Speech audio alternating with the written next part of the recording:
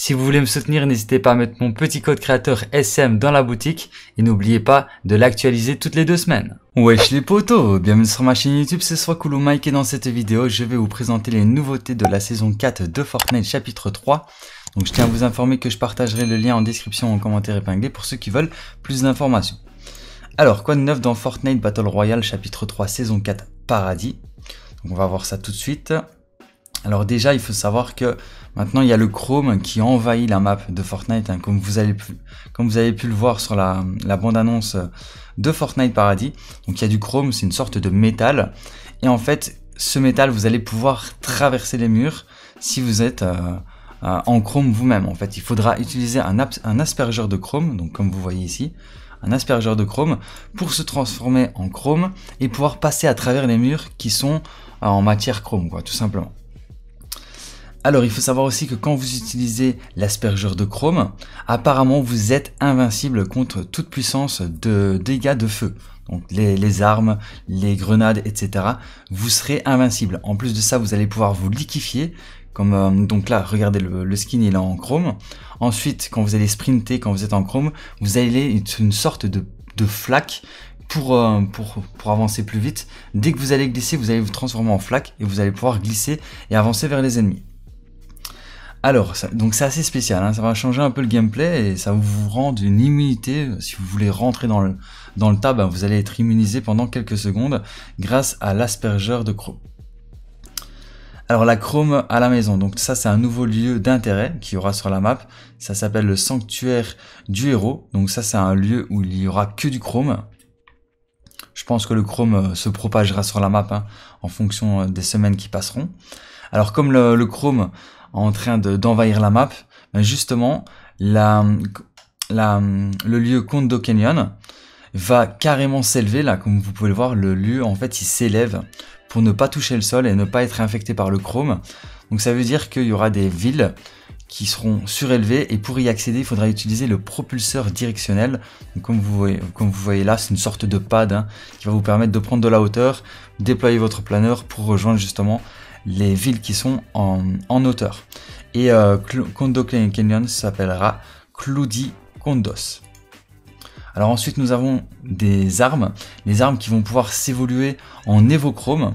Vous allez pouvoir les rendre en, enfin améliorer vos, vos, armes au niveau de rareté atypique, rare, euh, légendaire, etc. Même en mythique. Et en fait elles se transformeront en évochrome. Alors je sais pas trop comment ça va se passer. Mais, euh, mais voilà, vous avez un peu deux styles d'armes qui se transformeront en, en chrome. Alors tout ce qui n'est pas en chrome, ça c'est toute la liste des armes qui ne se transforment pas en chrome. Voilà, voilà. Tout ça, ça ne se transformera pas en chrome, donc il n'y aura pas de variante. Ici, nous avons une nouvelle mise à jour sur les snipers qui va vous permettre d'avoir un multiplicateur de de dégâts pour les tirs dans la tête. Donc uniquement pour ceux qui tirent dans la tête avec le sniper. En fait, ils ont mis un multiplicateur de dégâts pour que vous puissiez tuer vos adversaires en une seule balle de sniper. Donc les snipers qui, qui font partie de ce changement sont tous ces snipers là. Donc ça veut dire qu'avec n'importe quel de ces snipers, quand vous allez tirer dans la tête, vous allez pouvoir éliminer votre adversaire en une seule balle. Donc ça va changer un peu le game ça, parce que d'habitude c'est au moins deux balles. Donc là, il va falloir, euh, si vous visez bien, il faudra faire attention à bien vous cacher et pas rester AFK dans la map parce qu'une seule balle et vous pouvez retourner au lobby directement. Donc faites attention à ça et profitez-en bien entendu. Alors il y a un nouveau système de clés de succès. Donc ces clés là, vous allez pouvoir les obtenir sur l'île. Donc je pense que vous allez pouvoir en obtenir dans des coffres posés au sol comme ça sur l'île. Il y a de grandes chances d'en trouver apparemment. Et en fait ça va vous permettre d'ouvrir des chambres fortes.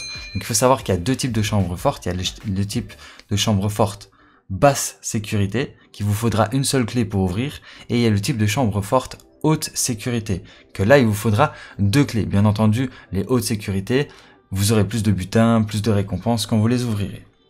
Alors là, nous avons un nouveau fort de poche qui s'appelle le bunker de poche, qui a la même fonctionnalité qu'un fort de poche, donc vous allez le lancer, et là en fait ce sera des, murs renforcés en métal, euh, qui vous permettront de vous défendre. Vous aurez aussi des pneus, des portes et des, euh, des rampes polyvalentes que vous allez pouvoir modifier à votre guise.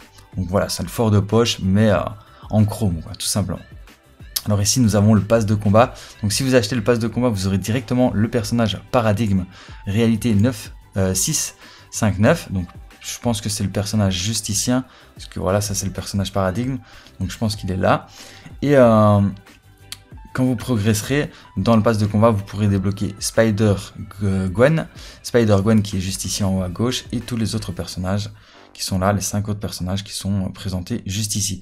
Donc ici, le personnage tout à droite, ça c'est le skin euh, secret du pass de combat. Alors ensuite, donc voilà, il est marqué hein, le héros, pour être débloqué plus tard dans la saison. Donc le héros, c'est ce personnage-là. Alors, euh, petite information à propos de la glissade. Quand vous allez glisser sur un adversaire, à la place de le percuter et de ne rien faire, à chaque fois que vous allez glisser sur un adversaire, maintenant, vous allez carrément euh, le propulser. Vous allez le, repousser sur quelques, quelques mètres et peut-être que ça lui fera des dégâts. Après ça, c'est pas sûr, mais en tous les cas, vous allez pouvoir repousser vos adversaires si vous glissez dessus. Alors, une petite remarque pour les modes compétitifs, les bocaux à luciole et les grenades à ondes de choc ne seront pas disponibles dans les modes compétitifs. Alors là, une petite un, petit avertissement pour ceux qui utilisent le Cronus Zen et le Cronus Max, vous risquez d'avoir un avertissement dans le jeu. Donc un avertissement, normalement, ça vous banne peut-être 24 heures.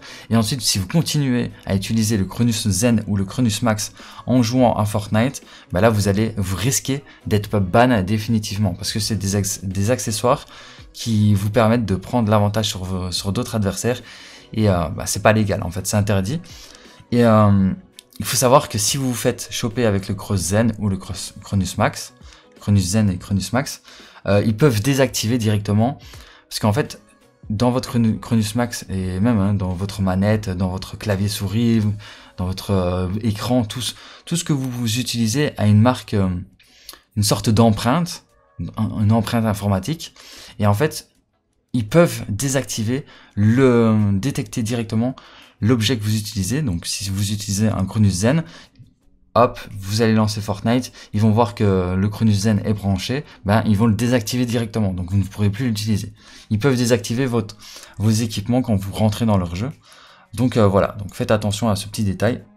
C'est plutôt important. En plus, moi j'ai déjà présenté ce, ce genre de d'accessoires ça donne un petit avantage pour certaines choses. Hein. Mais euh, voilà, faites attention parce que maintenant c'est détectable. Et euh, voilà, donc je pense que je vous ai tout dit à propos de cette, euh, cette vidéo d'information. Si vous voulez le trailer du pass de combat et le trailer de, bah, de, de, Fortnite saison 4 chapitre 3, tout est sur ma chaîne YouTube, donc n'hésitez pas à aller voir si jamais ça vous intéresse. Et si vous voulez plus d'informations à propos de, de, de, cette, de ce patch note, ben, le lien sera en description en commentaire épinglé. Donc voilà, je pense que je vous ai tout dit à propos de cette petite vidéo d'information. N'hésitez pas à mettre mon petit code créateur dans la boutique de Fortnite pour acheter votre passe de combat. Et n'hésitez pas à liker, à partager et à vous abonner si cette vidéo vous a plu. Et euh, je vous dis à très bientôt pour plus de vidéos. C'était Swacoolmec et ciao. Peace